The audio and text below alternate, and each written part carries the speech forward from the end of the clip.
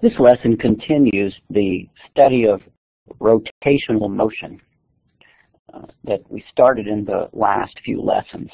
And uh, to show you how that continues on and kind of fits into the big picture, uh, I'm going to put the comparison table up between translational motion and rotational motion uh, that I've put in some of those earlier lessons where uh, we defined the translational motion variables, uh, position, velocity, and acceleration. And I sort of made an analogy of them with the rotational variables, angular position, angular velocity, and angular acceleration. Uh, we then learned the relationships. If you remember back to the very beginning of our study of physics, we learned the relationships between these uh, translational quantities. We called them the kinematic equations, and they were equations such as uh, x equals v0 t plus 1 half a t squared.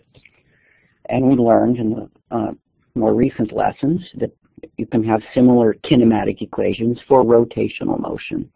Things like theta equals omega 0 t plus 1 half alpha t squared. Uh, and so on. So uh, we're going to take the next step in filling out this table of in our study of rotational motion today. What we did earlier in the semester when we studied translational motion was after we learned the kinematic equations, we started talking about force. Uh, in particular, we started asking the question, well, why does something accelerate if it accelerates? Or why does something not accelerate if it doesn't accelerate? And we learned Newton's laws of motion. Uh, in particular, we learned that if the net force on an object is equal to zero, that it wouldn't accelerate. The acceleration would be equal to zero. That's uh, otherwise known as Newton's first law. An object at rest will stay at rest unless an outside force acts on it. An object in motion will stay in motion with the same speed and in the same direction uh, unless an outside force acts on it. Well, there's something similar for rotation. Okay, it turns out that if an object is not rotating, then it will continue to not rotate unless an outside torque is exerted on it. So we can write that as if the net torque on an object is equal to zero, then its angular acceleration will be equal to zero. That means an object that's not rotating will continue to not rotate unless there's a torque on it. An object that is rotating will continue to rotate at the same speed unless there's a net torque on it. So uh, that means, okay, the next thing we need to do is, well, exactly what is this torque that you're using? I've given it the symbol, a capital Greek tau, but I haven't defined torque. So that's the goal uh, of the rest of this lesson is exactly what is torque exactly. So torque is the rotational analog of force. And it's related to force, but it's not equal to force. Torque is equal to R times F times sine theta, and I will define each of these terms uh, one at a time.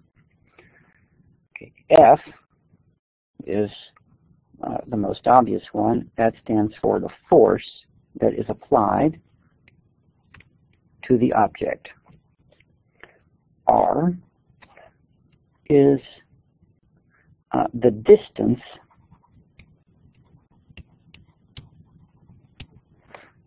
between the place where you're applying the force,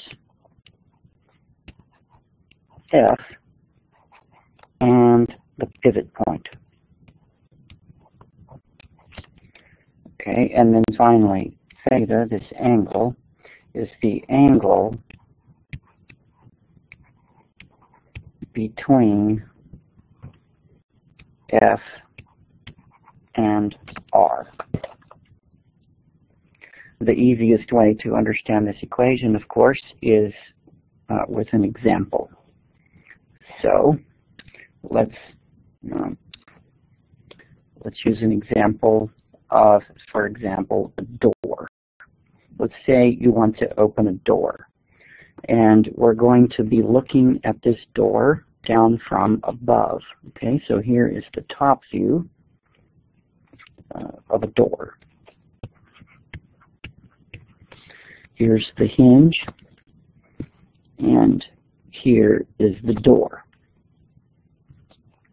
Okay, now if you want to open this door, then uh, probably just intuitively, you're going to know that the most effective way to open that door would be to push right here in that direction with some force F.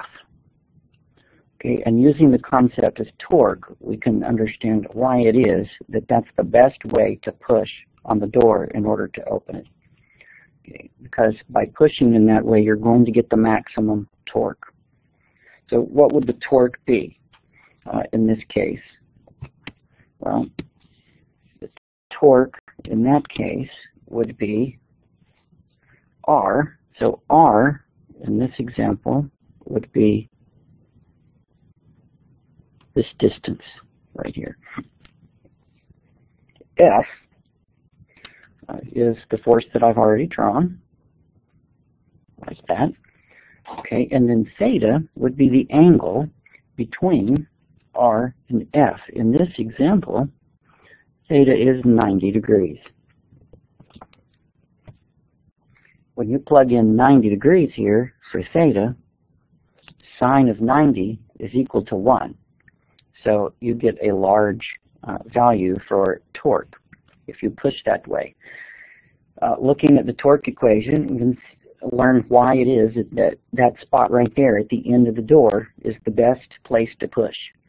Uh, because if I pushed somewhere closer to the pivot point, then even if I use the same force, F, I have a smaller R, and I'm not going to get as much torque. Okay, you and you intuitively know this, right? You're just automatically going to push on the end of the door furthest away from the hinge. You would not try to open a door by pushing right up next to the hinge because you understand that it would take a lot more force in order to do that. Now, how about the angle? Well, you sort of have an intuitive understanding of that as well because I'm pretty sure that if you were attempting to open this door, you would push the way I've drawn the force at the end there. Uh, you would not, most likely, attempt to push the door like that uh, at an angle. Because now this angle here, let's say if that angle is about 30 degrees, then now, instead of having a 90 degree angle, I've got a 30 degree angle. Well, sine of 30 degrees is only equal to a half. So by pushing at an angle, uh, other than 90 degrees, by pushing at a 30 degree angle, I've cut my torque in half, even though I'm using the same force.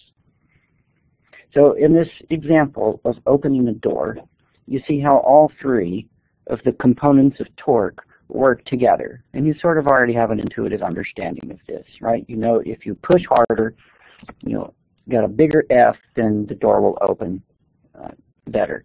If you push farther away from the pivot point, you're increasing R. You get a better torque. And then finally, you want to make sure you're pushing perpendicular to the door so that you maximize sine theta.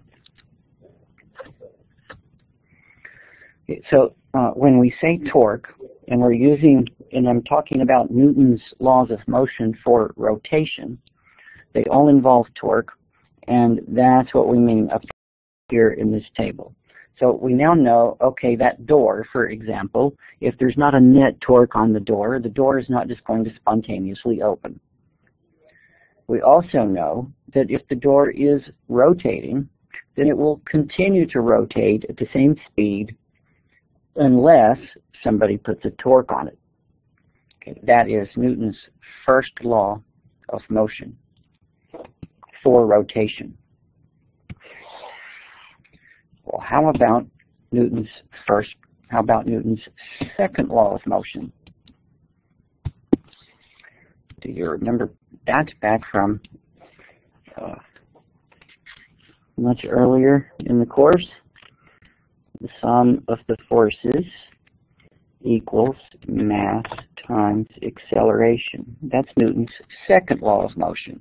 It tells us what happens if the net force is not equal to zero. It says that if there's a net force on an object, it will accelerate. And it will accelerate by an amount that depends upon the mass. A bigger mass will accelerate less than a smaller one. Newton's second law of motion has a rotational analog. The sum of the torques equals I times alpha. In other words, if there is a net torque on an object, it will have an angular acceleration. How much that angular acceleration will be depends on this quantity i. So we now have another term that we need to define. I is a quantity called the moment of inertia.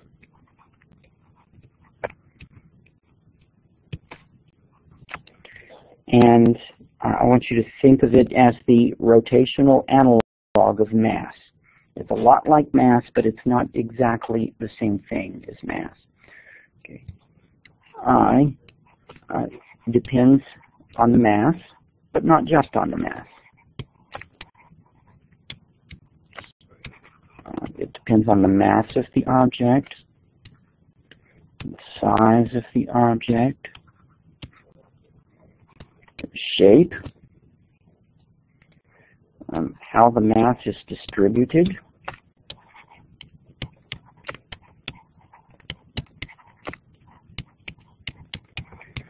uh, and even where you put the pivot point.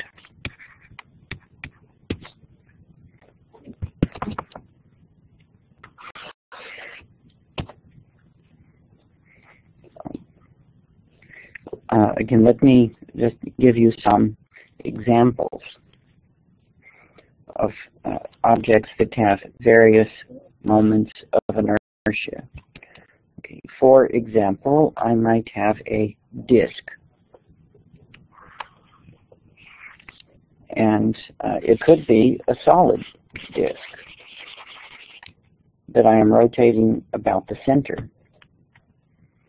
Or it could be something that has the same shape but is just a thin hoop. Now, it's possible, uh, for example, that this disk has a mass m and a radius r, and this hoop also has a mass m and radius r. But these two objects, even though they have the same size, the same mass, they are not going to have the same moment of inertia because it is harder to rotate the hoop than it is the solid disk. If you look in a table, uh, you can find a table on the internet or in your textbook if you have a textbook. Uh, you can find moments of inertia for various objects. Okay, and this is not something that you need to memorize. Uh, but what you need to know is uh, that various objects have different moments of inertia, and you need to at least know enough to look it up in a table. Okay, so uh, for example, if you were to look on the internet, you know, table of moments of inertia or something like that, then you would see that the moment of inertia of a solid disk uh, is equal to the mass of the disk times the radius of the disk squared. Whereas the moment of inertia of a hoop with the same mass and radius is on, is uh, mr squared. Actually, this one is one half mr squared. The disk is one half mr squared, and the hoop is mr squared. Uh, and since torque equals I times alpha, if I apply the same torque to both of these objects, then this one will have a bigger angular acceleration because it has a smaller moment of inertia. It's just like if you apply the same force to a small mass, it will have more acceleration than a big mass.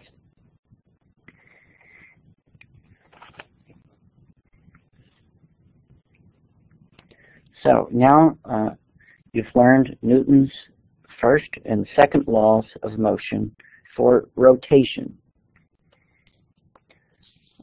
The law of inertia, which says that if there's no net torque, then the rotation will not change.